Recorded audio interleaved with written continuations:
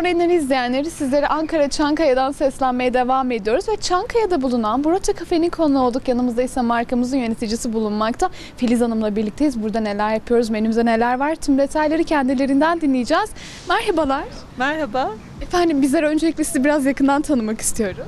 ismim Filiz Sözeri. Ee, uzun yıllardır e, yemek sektöründe ilgiliyim zaten. Yani çok sevdiğim bir e, daldı.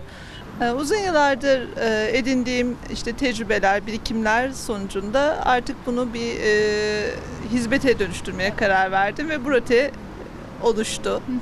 Peki bizler Brote'de neler yapıyoruz? Misafirlerimizi nasıl ağırlıyoruz? Menümüzde neler var öncelikle? Aslında daha çok e, pasta, tatlı tarzı ya da kurabiye, börek tarzı şeylerimiz var. Yani çay saati gibi düşünelim.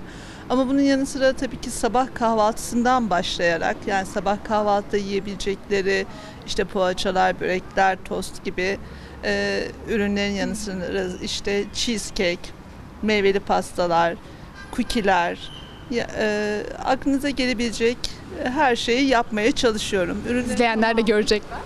Ürünlerin tamamını kendim yapıyorum. Yani bir anne aslında edasıyla çocuklarıma yapar gibi ya da evimdeki misafirlerime yapar gibi e, o sa- e, o kalitede o güzellikte yapmayı istiyorum. Burada misafirlerimi ağırlıyorum. Çok teşekkür ediyoruz efendim. Ben teşekkür ederim. her zaman diyoruz. Evet sektör neleri izleyenleri Ankara Çankaya'da bulunan Burata Kafe'nin konuğuyduk ve Filiz Hanım'la birlikte menümüzü sektörü değerlendirdik. Söz merkezde.